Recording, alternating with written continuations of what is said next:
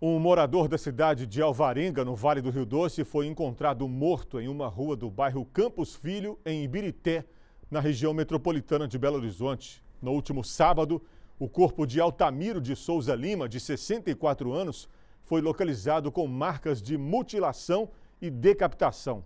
De acordo com a Polícia Militar, foi preciso a perícia da Polícia Civil recolher as partes do corpo da vítima espalhadas próximo a uma área de mata não havia documentos com o idoso.